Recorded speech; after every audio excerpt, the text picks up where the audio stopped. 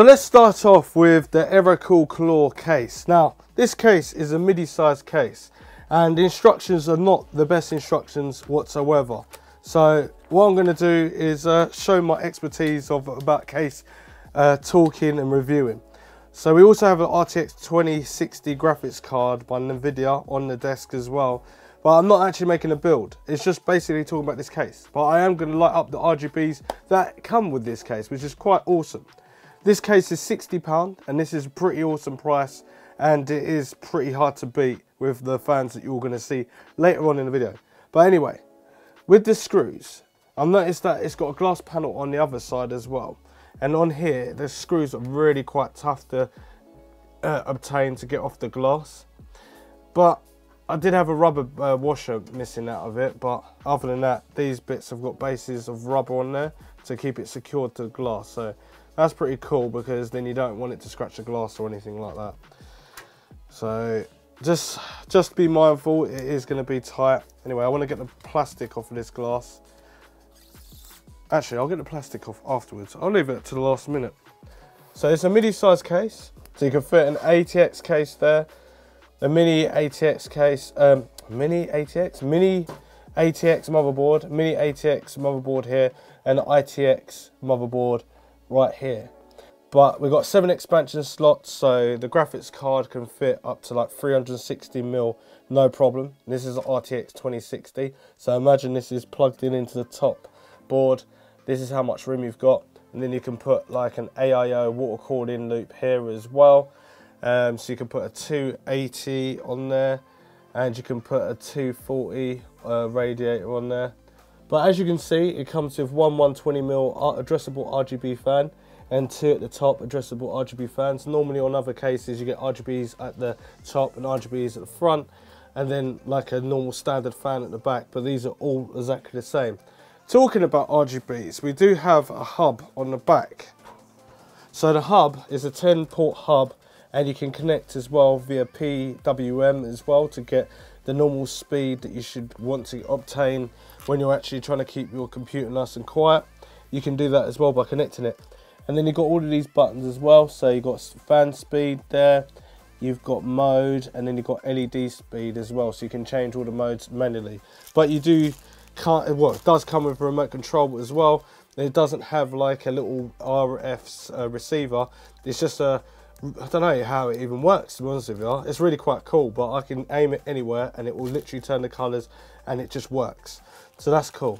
Anyway, we've got two 3.5 inch hard drive for mechanicals at the bottom or 2.5 mechanical inch hard drives there or you can have two SSDs there. You can have two SSDs or 2.5 inch mechanical hard drives there.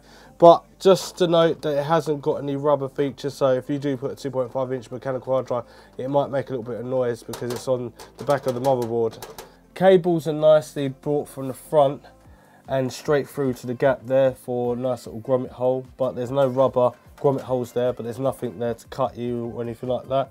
It does come with brass standoffs as well, for the ATX motherboard, but this is for the slimmer motherboards and not for the wider motherboards.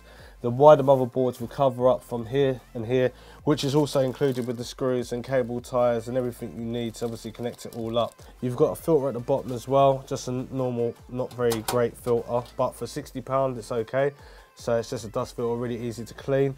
You've got a nice decent space for um, power supply as well, but there's no real, it's like metal standoffs, but there's no standoffs, so it's rubber, so it just isolates the vibrations a little bit. Depends on what power supply you're gonna go with, but I guess you ain't gonna go with the most expensive because technically this is a case that's only 60 pound. And then you've got a few cut off tile points, so it's like one, two, three, four, five, six, seven, eight. There's about 12 of them in there.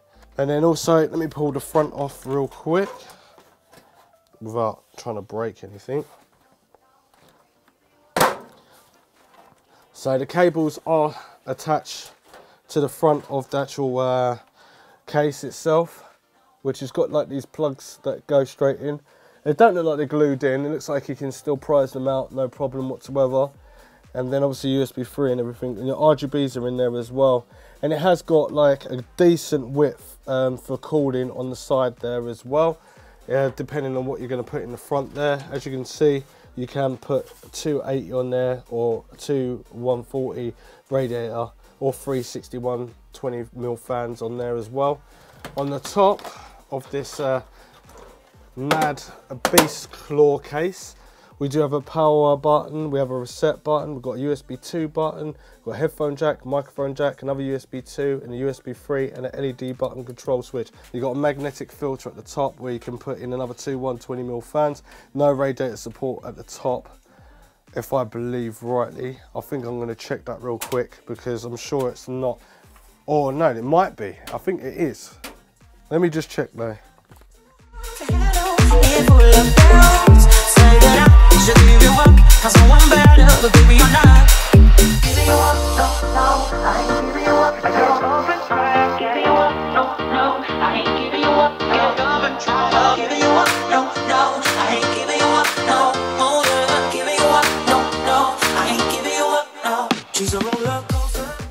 So, my bad. At the back, you can put a 120mm radiator on the back there. And then obviously, uh, so AIO liquid cooling at the front and AI liquid cooling at the back. But no support at the top. Only just to keep the fans nice and cool. So people, um, do you want to know the good news or the funny news? And the company's going to find it as bad news. Other than we do have airflow at the top. But I just realised the glass covers off that big airflow that you don't normally get from most cases. They're normally a little bit smaller. And I'm sure there is no airflow at the front. There's like a handle like bit here which a bit of cool air can pass through but there's no other way of it coming through. So I would say that is a bit of a mistake there. I didn't see that even happening. It looks lovely. But we only got airflow at the top now and at the back, so we've got no cool air coming in, so it will definitely starve a little bit. And from here, uh, there's no real gap as well for the air to pass through. I haven't even got these on tight. Oh, that's really annoying. But other than that, you're going to have to use more components that are not going to be heat related, which is obviously a bit of uh, a problem because technically if it did have this just cut off the square, well, that little edge bit just gone, and it was kind of like merged in really nicely, then this could be the nice cool bit there to get nice bit of cool air. Having a radiator here was not going to suffice. It's going to literally warm up and it's going to give you problems. You're not going to get performance because it's going to run like a, a bag of like rubbish basically. Anyway, you've got a little slot so you can slot up and down for the radiator or the other 120mm fan, adjustable fan that comes with it. You've got a little bracket that covers over. Um, on this case, yes. So you do get screw holes in there, but these are the ones I'm sure, yeah, you have to you have to bend and break off. I think. Let me just check that. Yeah, you have to bend and break these off with those brackets. But for £60, it's not too bad. You're not going to be putting in the most demanding computer and, unless you're unless you want to. So let's turn on this computer and uh, let's have a look what it looks like because it does look pretty cool. Right, so as you can see the Klaw, it does look pretty cool. I must admit this is more about aesthetics rather than cooling. Right, so with this case you can also motherboard sync it. So that means Obviously it's addressable RGBs, which means it's the higher end of RGB spectrum. So now I'm just gonna literally, I'm just gonna press some buttons. There we go. We got a green stripy thing going on. We've got blue, looks a bit slower. Oh, the RGBs, I must admit on here are pretty like on point. Now, I know it's not all about RGBs, but it depends on how old you are and what you're trying to show off and everything like that with the RGBs. I think it does make the case look better, but it's all about it's suffocating the actual components inside with this piece of, with this piece of glass on both sides. So there's no front intake at all. So there's no point putting an AIO in there. If I was going to put an AIO in there, it'd be a 120 and I'll be looking at a Core i3 or a Core i5 at the most and then obviously having some fans to dissipate the heat at the top there. But anyway, it does look nice, and I do like the fact that I can muck about with these LED things. I don't know what else I can do with it. Right, so mode. Right, we're doing something different now.